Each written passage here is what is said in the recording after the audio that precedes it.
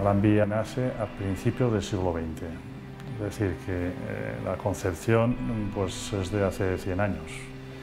Eh, entonces, la Gran Vía se piensa como gran avenida al principio,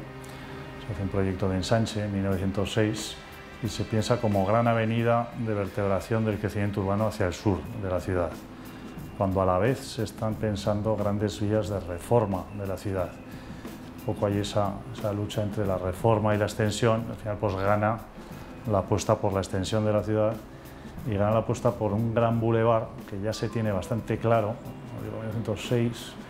en la primera década, en la segunda década del siglo, como un bulevar de un kilómetro y medio que debe conectar no solamente vertebrar el ensanche al sur, sino además conectar con un parque, un gran parque, que es el primer gran parque público que se construye en la ciudad y por tanto pues se ve como esa, eh, ese gran bulevar avenida. Esa es la idea, la idea inicial, la de la gran calle, gran eje de prestigio y gran eje moderno para la época. Hay un impulso muy importante con la exposición de, 1908, la exposición hispano-francesa,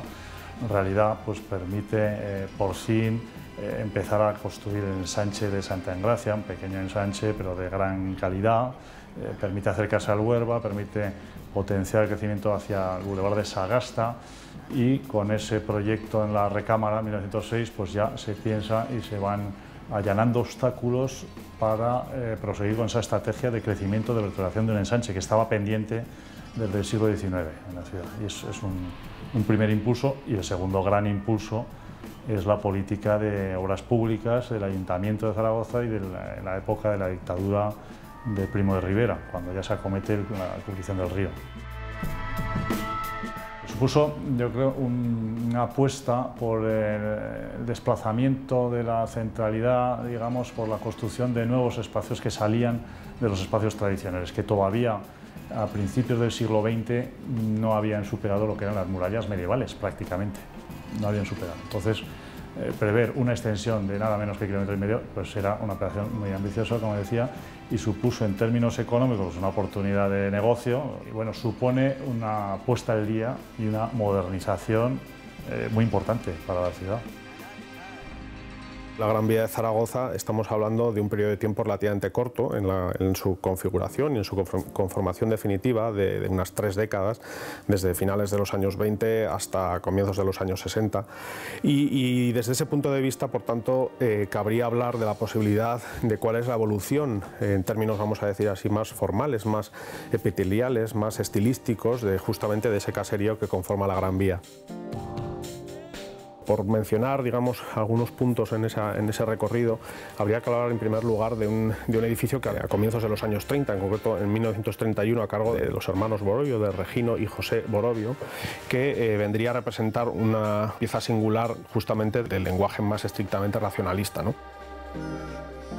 La Gran Vía finalmente construye su proa, construye su imagen más representativa eh, en el punto de, su arranque, en el punto de, su fachada más urbana, ¿no? a la ciudad histórica. Estamos hablando del edificio construido en 1945 por Teodoro Ríos y, que contiene también en su interior a los cines elíseos. Es un edificio absolutamente paradigmático de ese momento histórico que es la posguerra, en el cual hay una mm, preclara voluntad de construir una imagen representativa, una imagen monumental una imagen clásica. Asistimos a, un edificio mm, sobrio, un edificio elegante, un edificio mm, eminentemente y rigurosamente clásico en su composición y que, como digo, viene a presentar la imagen oficial de esta gran vía a la ciudad, eh, digamos, dialogando de tú a tú con el edificio contiguo de la Facultad de Medicina. Este recorrido por la arquitectura de la Gran Vía zaragozana podría terminar con un edificio de Manuel Ambrós, construido a finales de los años 50, principios de los años 60, que vendría a representar este feliz eh, aterrizaje, esta feliz eclosión de una modernidad ya serena, de una modernidad no racionalista, de un lenguaje ya más atemperado, que lo convierte en uno de los edificios más característicos de esta, de esta Gran Vía zaragozana. Gran Vía ha sufrido un proceso de, reducción de tráfico paulatino y de reducción de carriles y este es el paso, casi el penúltimo paso en la peatonalización y en la recuperación del espacio público de este paseo. Eh, el, tranvía es la ocasión de, renovar el centro, el paseo central que ha quedado obsoleto constructivamente pero también de usos, puesto que el cambio de, de hábitos de la ciudadanía es muy importante. La mayor parte de los paseos han cambiado hacia, hacia el peso de las aceras en detrimento al central. Y este central que ha quedado un poco aislado y degradado, el tranvía es la gran ocasión de recuperarlo con la introducción de las paradas en él, de actividad y el eliminar la barrera que supone el, tráfico eh,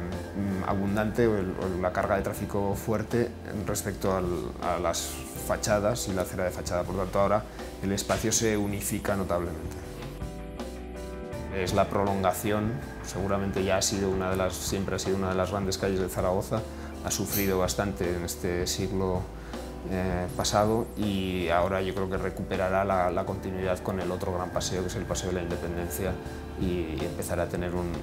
funcionamiento coherente, sobre todo si conseguimos con esta obra del tranvía dar la continuidad a través de la Plaza Paraíso, que es la plaza, la rotonda de tráfico principal de Zaragoza, que en este momento es la barrera eh, que impermeabiliza todos los paseos entre sí. Esto con el tranvía ha de cambiar a ser el elemento al revés de conexión peatonal entre todos los paseos.